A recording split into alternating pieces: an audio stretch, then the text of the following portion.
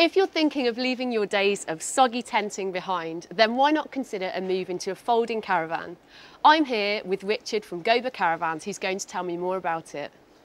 So, could you tell me a little bit about the company, please? Yeah, sure. Um, Gobur Caravans, we manufacture a product called a carousel, Okay. folding caravans. Folding means it literally folds down to just below the height of the average car. Uh, that improves things like stability, and a big thing is fuel economy. Uh, Fuel economy, you can almost be down to like driving solo with the caravan tucked in behind the average saloon car. So, does that mean that you could actually tow it with a regular car? Yeah, regular car, um, because of this low level, low line, weight is important, but the big thing is the lack of wind resistance. Okay, so obviously you've towed it to the site. Now, how easy is it to put it up? What do you need to do? Yeah, very, very easy. All you really do is get the, get the caravan just roughly level by eye.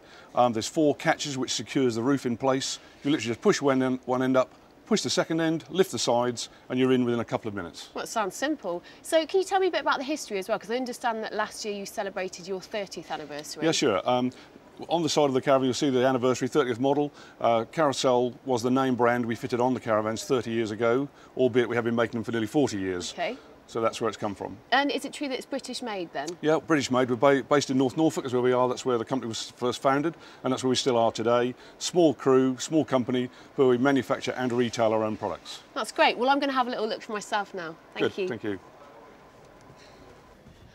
Wow, well, my first impressions of this van are that it's a lot bigger than I thought it would be, considering it's a folding caravan and you can keep it in your garage. There's lots of homely touches, so you can really personalise it to suit you. Simple upholstery means that you can make it exactly what you want it to be. And of course, there's great things such as the net curtains for added privacy, and you can bring your own ornaments from home.